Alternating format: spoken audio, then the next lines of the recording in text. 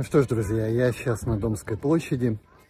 Сзади меня находится здание национального радио, на котором вы видите флаги Латвии и Украины.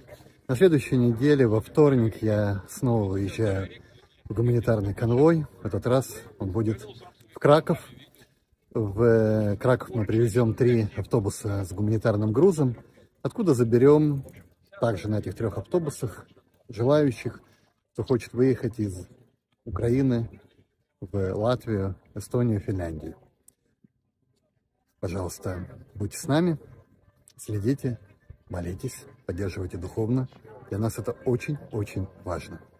Потому что мы стараемся делать то, что можем, в тех условиях и с теми ресурсами, которые у нас есть.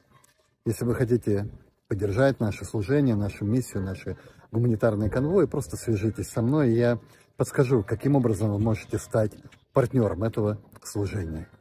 Я буду продолжать рассказывать истории и то, чем мы занимаемся в эти трудные времена войны. Несмотря на то, что живем в спокойной и тихой Латвии. Нам не все равно. Мы молимся и трудимся.